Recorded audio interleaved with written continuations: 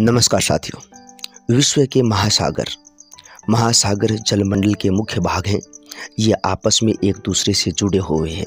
स्थल से प्राप्त संसाधन समाप्त प्राय हैं।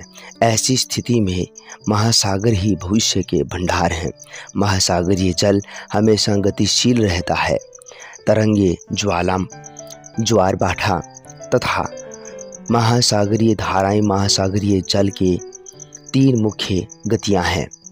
संपूर्ण जल भाग को पाँच महासागरों में विभक्त किया गया है। प्रशांत महासागर, अटलांटिक सागर महासागर, हिंद महासागर, दक्षिणी महासागर तथा आर्कटिक महासागर। सभी सागर तथा खड़ियाँ इन पाँचों महासागरों के ही अंग हैं। आइए देखते हैं। विश्व के पाँचों महासागर अवरोही क्रम में। प्रशांत महासागर, अटलांटिक महासागर, हिंद महासागर, दक्षिणी महासागर और आर्कटिक महासागर। अगला है विश्व के पाँचों महासागर आरोही क्रम में, यानी कि बढ़ते क्रम में। आर्कटिक महासागर, दक्षिणी महासागर, फिर है हिंद महासागर, अटलांटिक महासागर, प्रशांत महासागर।